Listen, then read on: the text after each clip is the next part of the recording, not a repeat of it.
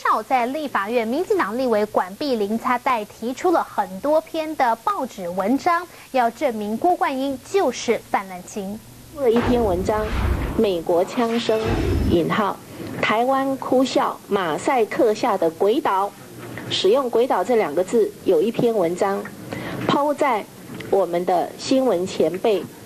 姚卓奇先生的部落格老纪的门缝之中，这一篇文章。开宗明义说，这篇是郭才子学长的文章。开宗明义说，这篇是郭才子学长的文章。最后留言栏的第一个版主，版主下了一个标签，给他的评价是：文字掷地有声，他郭冠英先生是也。换句话说，姚卓奇老前辈。他的部落格老纪的门缝，用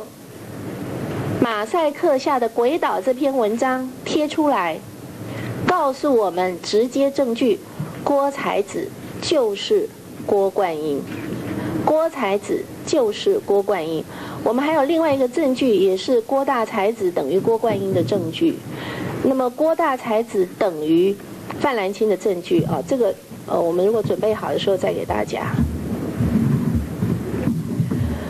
郭才子就是郭冠英，郭冠英就是赵天吉，赵天吉就是范兰清。我们今天做了这么多的比对，最后剩下来的一个问题是：那么郭冠英说，好吧，范兰清写的这一百一十篇文章里面，属于我写的纵然有，而且很多，而且写的很不堪。但是也不是全部是我。认为说铁证如山，认为范兰清就是就是郭冠英，他们也希望说郭冠英能够赶快坦诚，之前的确曾经写过那些辱台的文章。以上的立法院最新状况，现在把现场交给彭磊主播。好，那么同一时间我们看到郭冠英在今天经过人评会之后，在稍后会召开记者会，对外说明目前最新的情况。